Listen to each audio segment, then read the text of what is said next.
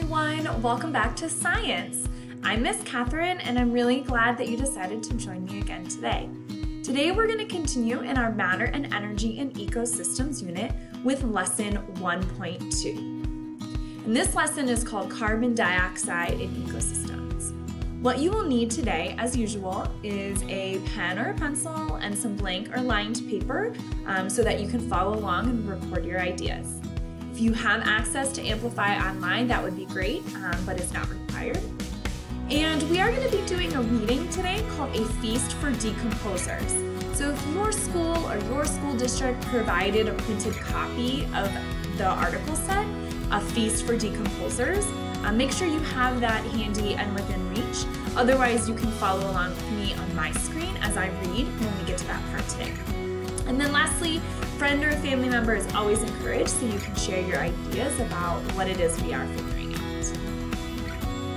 And um, if you're following along, again, on Amplify, there is your click path to get to our Matter and Energy and Ecosystems, Chapter 2, Lesson 2.1. And on your paper, here's how I would like you to have that set up.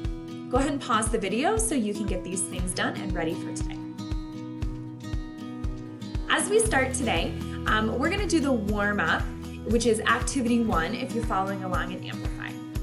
And this warm is reminding us that at the end of the last lesson, we figured out that there wasn't enough carbon dioxide in the biodome's air, which caused a decrease in the energy storage molecules inside the biodome because the producers, or those plants that uh, create the energy storage molecules from the carbon dioxide in the air, along with water and sunlight, didn't have enough of this abiotic carbon from the carbon dioxide to turn into these energy storage molecules.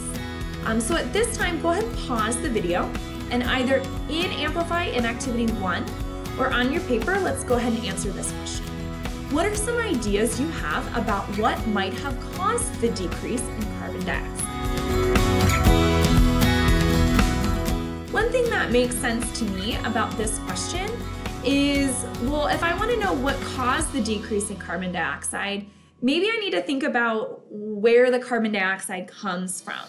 And I know that as a human, when I breathe out, I breathe out part of carbon dioxide in that in the air that I'm exhaling. And so maybe there's some connection there between um, the people or the other animals that breathe out carbon dioxide as why there maybe wasn't enough in the atmosphere, in the air of the biodome. So again, last chapter, we realized that there wasn't enough carbon dioxide in the air, and so therefore those producers didn't have enough carbon available to them to make our energy storage molecules, and therefore our plants and our animals didn't have the energy that they needed to survive. Um, so now in chapter two, we're going to think about the cause of that. So what caused carbon dioxide to decrease in the air of the biodome? So what was causing this decrease of abiotic carbon matter within the biodome? Since we now know that this decrease of carbon dioxide is the culprit or is the cause of why our producers did not make enough energy storage molecules. So we're going to get down um, today to start some initial ideas about where we believe carbon dioxide um, can be found. Because again, if I'm going to say why the carbon dioxide decreased, I need to think about where it comes from in the first place. That's a logical connection, okay? Um, so we're gonna move into activity two now in Amplify if you're following along, and it's a sorting tool activity. Um, so when you're ready, you're gonna go ahead and pause this video and use the carbon dioxide in ecosystem sorting tool, or on your paper, create your own two column chart that looks like this to show your ideas about which parts of an ecosystem do and do not give off carbon dioxide. And you have some options here. So one column says gives off carbon dioxide, one column says does not give off carbon dioxide. And you're gonna list out of these options which column you believe they are a part of. So we have soil bacteria, we have fallen leaves, mushrooms, um, a plant, snail, and a snake. And this is, if you're in Amplify, I'm going to go to activity two. This is what it will look like. So again, when you're ready, pause the video and go ahead and sort these components into our two column table of which ones you think give off carbon dioxide and which ones you think do not. I don't know about you, but in the sorting tool, I was pretty certain that the animal, like the snail, um, gives off carbon dioxide, um, but I wasn't really sure about the plant or the decomposers, um, the mushrooms, for example, or, or the dead stuff, like the dead leaves. Um, and I, I know that plants can take in carbon dioxide um, and produce energy storage molecules through that process of photosynthesis, um, but I'm not entirely sure if they um, give off carbon dioxide or not. Um, so as we investigate this question, where does the carbon dioxide in abiotic matter come from, we need um, a little bit more uh, data to analyze to be sure my hunch on animals giving out carbon dioxide from things that I know and to really help me decide whether plants give off carbon dioxide um, or not, or just take it in, okay? So we're gonna watch um, a video of an experiment with a snail, which is an animal, and an Elodea uh, plant. It's an aquatic plant. And we're going to watch this video of someone conducting an experiment to see if uh, the snail and the Elodea do in fact give off carbon dioxide or not. Um, and as we watch the video, there's going to be two parts. I want you to ask yourself these three questions. Record them on your paper or talk with them um, with that family member or friend on video chat that you have nearby. Um, so we're going to think about do producers like the Elodea give off or take in carbon dioxide and how we know that from the experiment. And then do consumers like the snail give off or take in carbon dioxide and how do we know that? Remember, consumer again is an organism that needs to eat other organisms to get those energy storage molecules. They don't produce them like a producer does. And then lastly, what do these answers mean about where the carbon dioxide in abiotic matter comes from? As that's what we're trying to investigate here in lesson 2.1, okay? So I'm gonna go ahead and bring up those videos. Um, so here's the first one.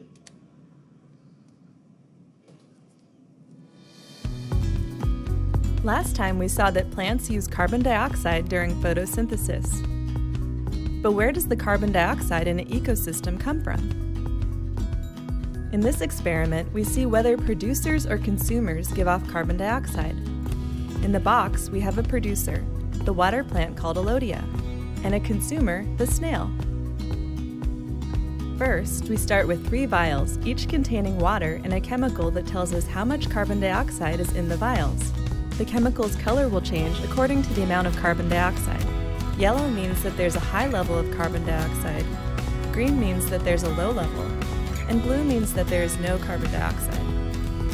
Right now, the vials have no carbon dioxide because we want to test which organisms give off carbon dioxide. Next, we'll add an Elodea plant to vial B, and a freshwater snail to vial C. Vial A, with no organism, will be the control group. Finally, we wrap all three vials in foil. We don't want light to interfere with our results since we know that plants perform photosynthesis and take in carbon dioxide from the environment in the light. We're going to check back with the vials after 12 hours. What do you think will happen to the carbon dioxide levels?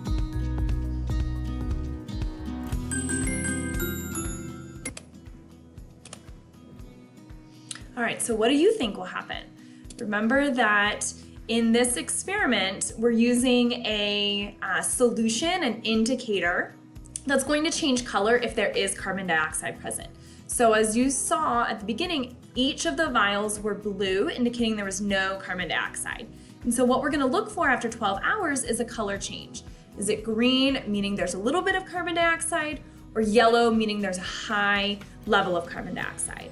So if we see a color change, that means there is carbon dioxide present, and those um, objects, the snail or the Elodea, produced that carbon dioxide.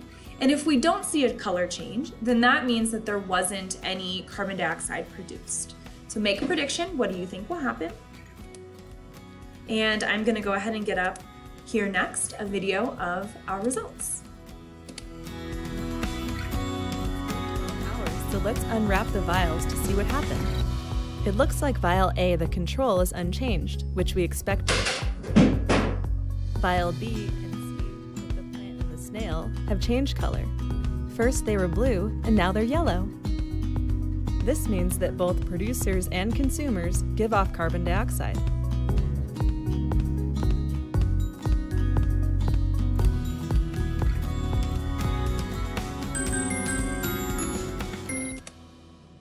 Wow, I was surprised by that. Were you? So we just figured out from the snail and the Elodea experiment that both animals and plants give off carbon dioxide um, to the abiotic matter in an ecosystem. And again, I don't know about you, but that was a little bit surprising to me about the Elodea, about the plants because I knew they took in the carbon dioxide, but I didn't realize that they also released the carbon dioxide into the air or the water or those other abiotic matter sources within an ecosystem.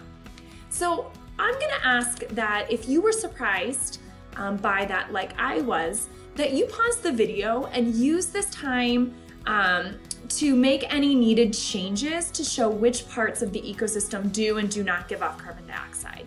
So if you had Elodea over here is does not give off carbon dioxide, go ahead and pause the video and change that and move that over um, as it does in fact give off carbon dioxide as our snail and our Elodea experiment showed us.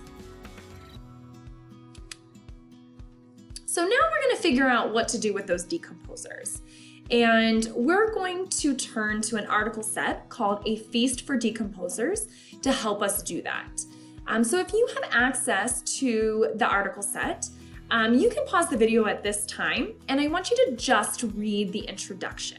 And as you read, you're gonna look for information that might help you figure out the investigation question and if decomposers do give off carbon dioxide to the abiotic matter in the air or the water. If you don't have access to the article set, um, you can follow along with me right now as I just read the introduction, again, considering our investigation question here of do decomposers, like consumers and producers, give off carbon dioxide? So I'm gonna go to my article, and this is found here in activity four, if you're following along Amplify Online. And we're just gonna read the introduction. So imagine you're invited to a feast. When you get there, your host serves you droppings, dry ground leaves, bare bones, feathers, and a fallen tree. But you can't eat that. This is a feast for decomposers, not humans. Decomposers are fungi, bacteria, worms, and other small organisms that specialize in breaking down dead matter.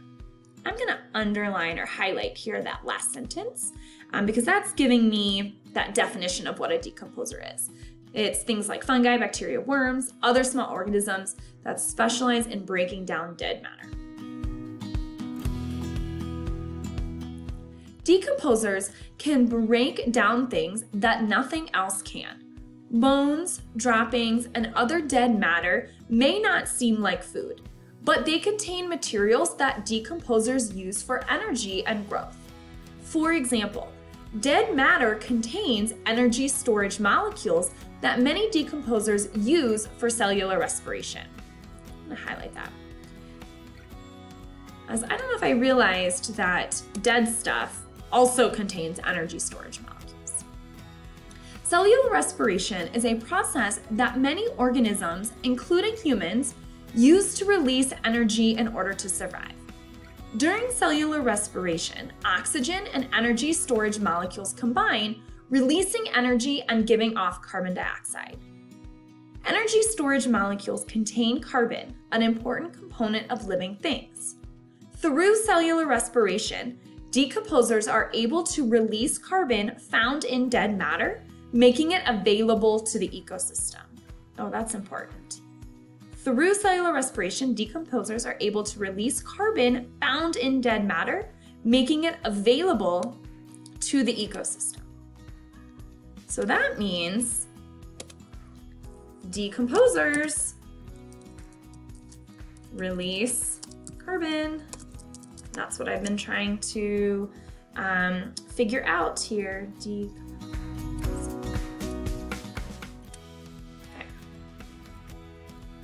Without decomposers, this carbon would stay trapped in the dead matter. Decomposers don't just release carbon from dead matter, they also make other materials available to an ecosystem, such as nitrogen. Nitrogen is a critical component for plant growth. Decomposers may be small, but they play an important role in an ecosystem. To learn more about decomposers, read one or more of the chapters that follow. Um, you may do that if you like, but we're going to stop here um, because this sentence kind of tells us exactly what we needed to know. Decomposers are able to release carbon found in dead matter, making it available through this process of cellular respiration. So that means decomposers do, in fact, release carbon. And that means that carbon dioxide in the abiotic matter also can come from decomposers. So again, if you need to make a change to your chart from earlier, go ahead and do that. And I'm not sure. All right, there we go. So pause the video to make any needed changes to show that actually all of these parts of an ecosystem do give off carbon dioxide. The producers, the consumers, and the decomposers alike. So as we reflect on lesson 2.1 today, before next time, share the evidence that you gathered today and your ideas about where carbon dioxide in the abiotic matter of ecosystems come from. And if you want to know more about decomposers, um, go ahead and complete activity five and amplify online. That's gonna have you look at that article set a little bit uh, further. I'll see you next time.